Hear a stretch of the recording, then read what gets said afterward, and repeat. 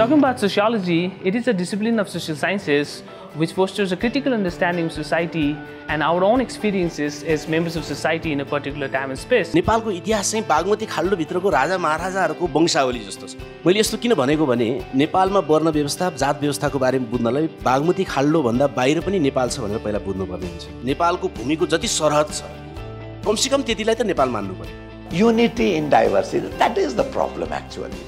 It's very difficult for diverse to be unity. What should be celebrated is diversity in unity. Unity remains, but diversity is what we should be happy about. I mean, imagine this world if everybody looked alike by some uh, genetic modification. What kind of world will that be? एउटा मान्छे लड्नलाई भिड्नलाई पुलिसले बोकेको लौरो र बन्दुकसँग जुझ्नलाई खाली हात अथवा एउटा भाटा लिएर अथवा एउटा ढुङ्गा बोकेर किन लड्न जान्छ त्यसको कारण खोज्नुपर्छ हामीले In a typical sociology classroom, we engage with various questions about society with reference to societies in other parts of the world. Sociology at Thames is a rigorous academic program which encourages students to rethink many of their assumptions.